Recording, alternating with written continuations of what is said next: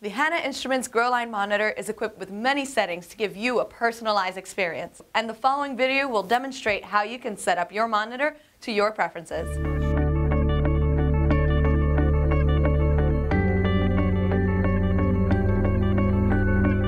By pressing the menu button, you are brought to the main menu screen. Here you will find Quick Calibration, which allows you to use the Hanna Quick Cal solution to calibrate both for pH and ECTDS at once. History gives you 30 days of logging information, which can be backed up and downloaded to a PC or USB drive.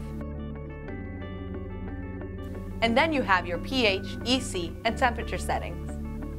In these settings, you can calibrate each individual parameter, set high and low alarms to warn you of any changes to your nutrients, change your units of measurement, or view the GLP information. This information gives you insight on how your monitor is working over time, showing you the slope, offset, and the date and time of previous calibrations.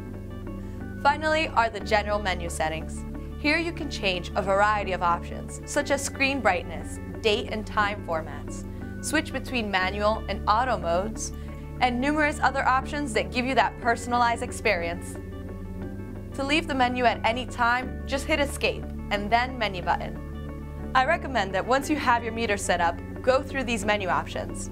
If you have any questions, contact sales at hannainst.com. Our professional staff can help guide you through the menu and get you up and running in no time. You can find everything you need for your meter at hannainst.com slash GLM. Thanks for stopping by and we hope you found this helpful. Don't forget to like us on Facebook and Instagram and comment below to give us some feedback.